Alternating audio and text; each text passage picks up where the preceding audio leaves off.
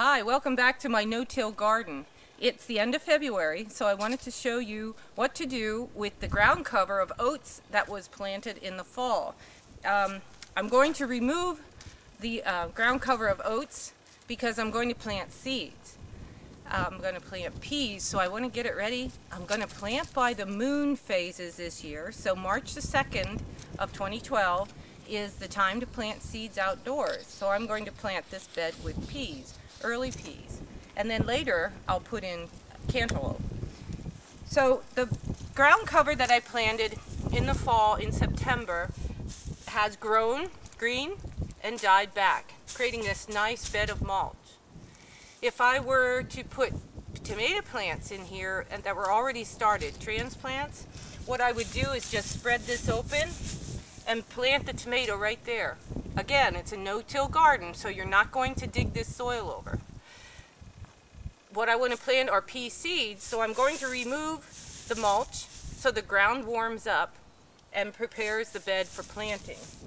So I'm going to just show you how I remove it. I don't pull the roots out. What I want to do is try and just leave the roots in. So I'm sort of shaking it off. And of course, all of this can be put in your compost pile or used as mulch because it will not regrow.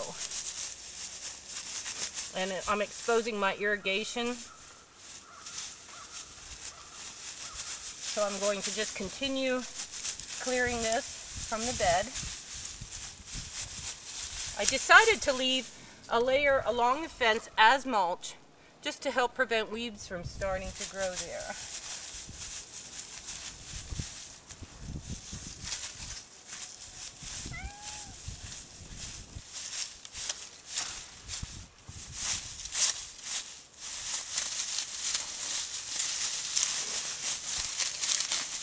This is a lot easier than rototilling or digging your soil in the spring. Um, what you do want to remember though is to add fertilizer, um, something sprinkled on top to add the three major nutrients back to the soil. Right, now I have now I have a pile of uh, compost material or I can use it on another bed as mulch if I wish. The next thing I'm going to do I have irrigation, it's drip irrigation, and I'm going to raise it just a little so I can get my material under here. And I'm going to add an inch of compost.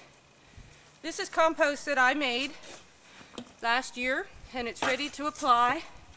So I'm going to put about an inch layer on the bed. Again, I'm not digging, so Compost is all ready to plant in. March the 2nd is coming the end of the week.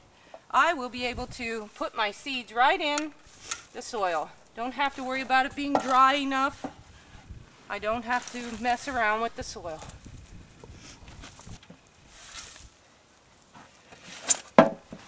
That should be close to uh, what I'm looking for. So the next thing I want to do is just go down here and spread it out. This is garlic I planted in October and it should be ready in July. I'm going to push this under my irrigation line so I know where it's at. I did put a hole in it one time because I didn't see it by digging with my trowel to plant something.